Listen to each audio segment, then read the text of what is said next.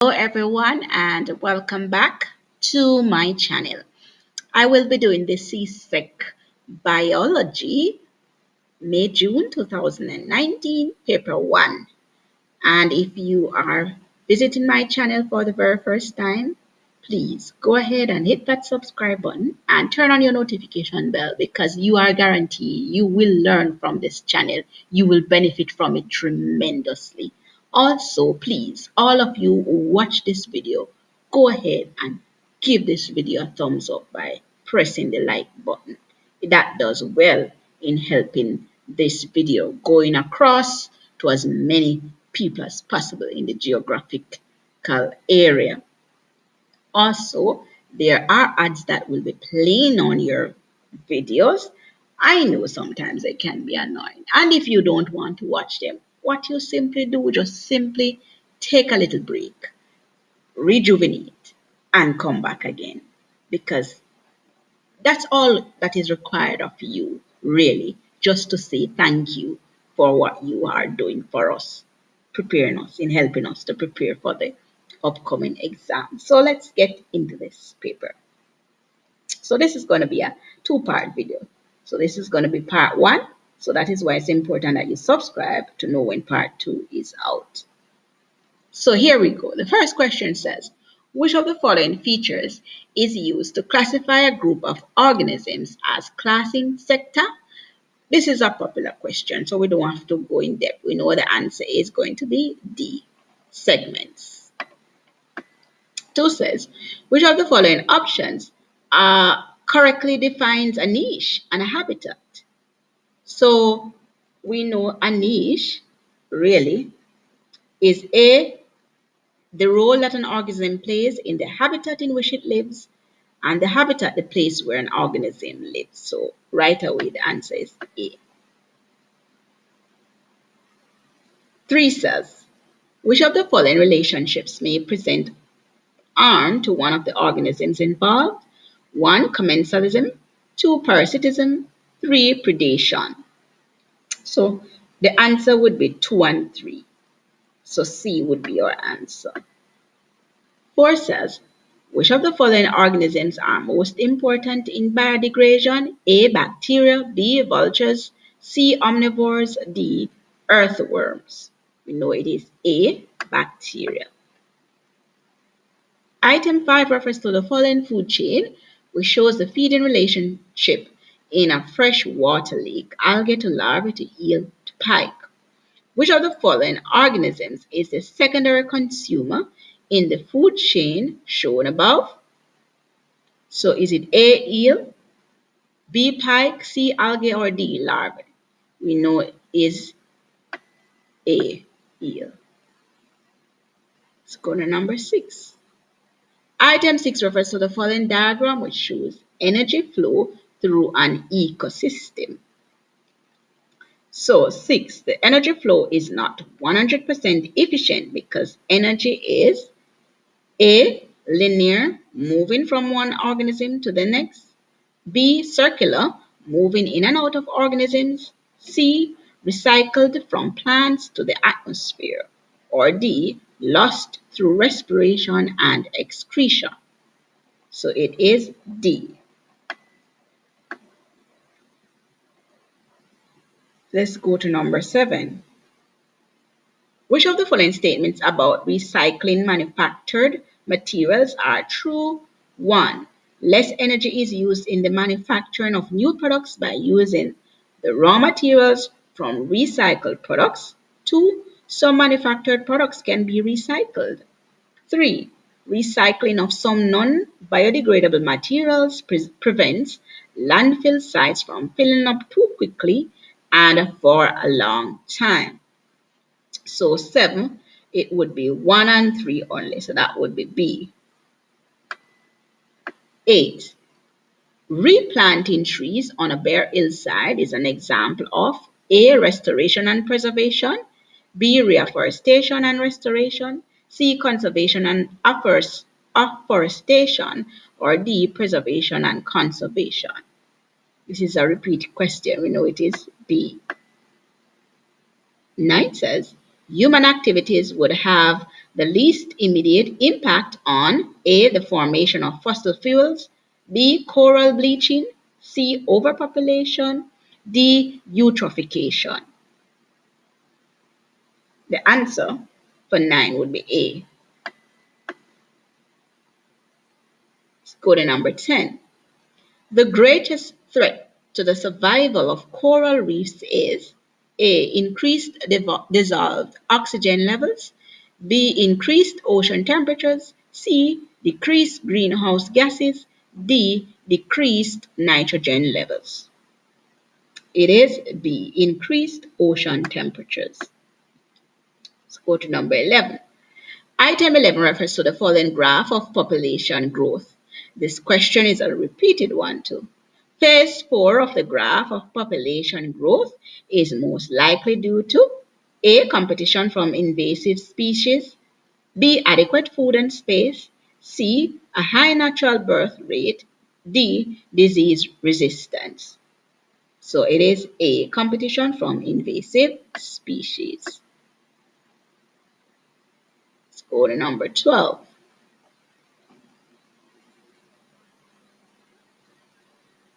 It says, when compared to a cheek cell, a muscle cell contains more.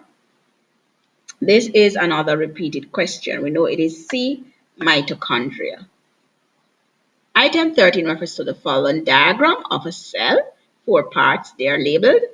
Which of the labeled structures is responsible for controlling cellular activities? So we know it is D, 4 at 4.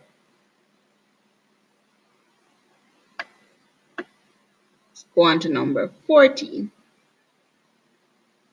Which of the following comparisons of the cell wall and cell membrane is incorrect? A. The cell wall found in both plant and animal cells, cell membrane found in animal cells only. B. Freely permeable, differently, different, differentially permeable. C. Contain cellulose, does not contain cellulose. Or D. Found in plant cells only found in both plant and animal cells. So this is B. 15. Item 15 refers to the following apparatus setup as shown below. So, what can be done to cause the level of solution in the Petri dish to rise after 20 minutes? A. Add 5 grams of sugar to the distilled water in both the Petri dish and potato. B. Add 5 gram of salt to the distilled water in the petri dish only. C. Add 5 gram of salt to the distilled water in the potato only. Or D. Add 5 gram of sugar to either the petri dish or potato. It is C. Add 5 gram of salt to the distilled water in the potato only. 16. Item 16 refers to the following table which shows the results of food tests performed on three food samples, X, Y, and Z. So it says, so on food sample X, the test and observation, violet color with sodium hydroxide and copper sulfate. Y, blue back precipitate with iodine. Z, orange precipitate when heated with Benedict's reagent after hydrolysis. Reagent after hydrolysis. All right, so the samples X, Y, and Z respectively most likely contain. So is it A in X, it is protein, in Y, it is starch, and in Z, it is non-reducing sugar. So the answer is D. Let's go to number 17. So item 17 refers to the following diagram which shows a xylem vessel. Now, it says,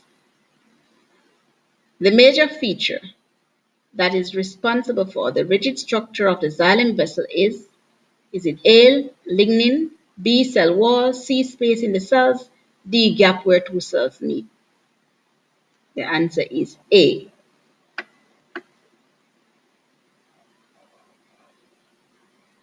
Item 18 refers to the following diagram, which represents a metabolic process carried out in plants. This is another repeated question. It says, the food produced is, we know it is B glucose. Let's go to number 19. So item 19 refers to the following diagram. Which of the following statements best accounts for the shape of the graph? A. As photosynthesis rates increase, there is a decrease in carbon dioxide levels. B. As light intensity increases, the rate of photosynthesis also increases until a stationary phase exists when denaturation of the enzyme occurs.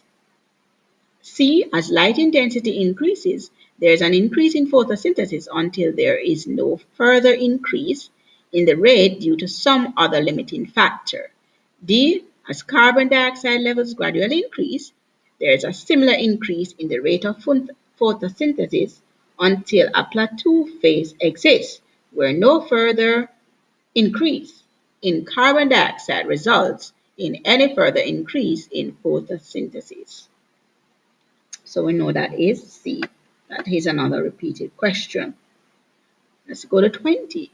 A 50-year-old male is advised by his doctor to pay special attention to the amount of salt in his diet. He probably has a high chance of developing A. Obesity, B. Diabetes, C. Hypertension, D. Cardiovascular disease. So we know this is C. Hypertension. Go to number 21. So item 21 refers to the following diagram of a tooth which it has four labeled parts, 12, 21, sorry, which option correctly identifies the structure labels 1, 2, 3, and 4. So we know at 1 we have the enamel is at 1, then we have the dentine, then we have the pulp, then we have the capillaries. So the answer would be A. Let's go to 22. So item 22 refers to the following diagram of the respiratory system. Labeled four parts again. This is another repeated question. Which of the labeled parts represents a rib cage? We know it is at 2B. Move to 23. So here we go. So item 23 refers to the following diagram. Right now we see our red blood cell there as shown in the picture. The respiratory structure shown above is that of so is it so A an alveolus. Let's go on to number 24. It says, which of the following is an effect of nicotine found in cigarette smoke? A. Increased heart rate. We need not go any further. There is our answer. Let's go to number 25. The events listed below are involved in the clotting of blood. This is another repeated question. 1. Fibrinogen is converted to fibrin. 2. Blood cells are trapped. 3. Platelets are activated. 4. Damage to blood cells, blood vessels. Which of the following is the correct sequence of activities? So, we know it is damage to blood vessels, then we have platelets are activated. Then we have fibrinogen is converted to fibrin and then finally blood cells are trapped. So D would be your answer. To number 26. In heart bypass surgery, an artery is advantageous over a vein to bypass the blockage because A. Arteries have thicker, more muscular walls than veins. B. Veins allow blood to flow in one direction. C. Arteries carry blood away from the heart. D. Veins carry only deoxygenated blood. So we know it is A. Arteries have thicker, more muscular walls than veins. 27. Which of the following options best identifies some of the transport substances in animals? 1. Amino acids. 2. Hormones. 3. Glucose. So we know the answer is all of them. 1, 2, and 3. D. Let's go to number 28. In the transport of solutes in the phloem, the source is defined as any area of the plant where. So the answer for 28 is C. go to number 29. Artificial immunity can best be described as immunity. Is it A, acquired from the body's natural defense against disease. B. Produced by deliberate exposure to a pathogen. C. That has been passed on from mother to child in the uterus. D. That has been passed on from a mother's colostrum. So the answer is B. Produced by deliberate exposure to a pathogen. Final question for part 1. So item 30 refers to the following diagram of a mammalian kidney nephron. So, which option correctly identifies the function of the parts labeled 1, 2, and 3? So, 1 is ultrafiltration. Then at 2, we have selective reabsorption. And 3, water conservation. So, B would be our answer. So, there you have it. We have come to the end of the CSEC Biology, May, June 2019, Paper 1, Part 1. Make sure to subscribe to know when Part 2 is out. Thanks for watching.